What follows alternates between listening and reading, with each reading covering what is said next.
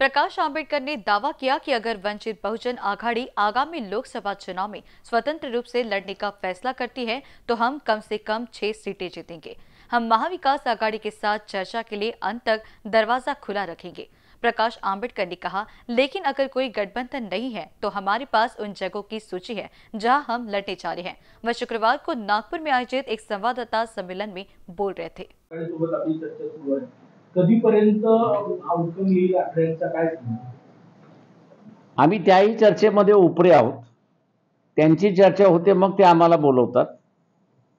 आम्ही शेवटपर्यंत चर्चेमध्ये सहभागी होण्याचा आग्रही त्या ठिकाणी धरणार आहोत.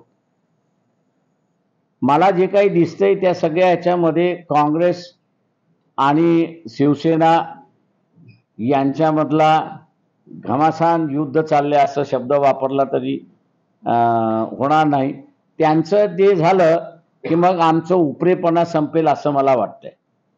मोटे तौर पे आप लोगों ने कितनी सीट्स की मुझे मालूम नहीं है हमने तो ये कहा है उसमें कि भैया अगर युति नहीं होती तो हम लोग जिन सीटों पे कंसंट्रेशन करने वाले थे उसकी सूची जो है वो हम लोग ने सबमिट की है। म्हणून तर मी म्हटलं ना आम्ही सारे उपरे आहोत. तेव्हा आम्हाला किती जागा सोडल्या ह्यात आपल्या कुठच्याच माध्यमातून आम्हाला कळते. तेव्हा आम्ही असायला म्हणतोय की काँग्रेस आणि शिवसेना यांचं चाललेलं भांडण संपलं की आमचं उपरेपणा संपेल असं आम्ही समजतो. मी एवढं फक्त सांगू शकतो की मी इंडिपेंडेंट लढलो.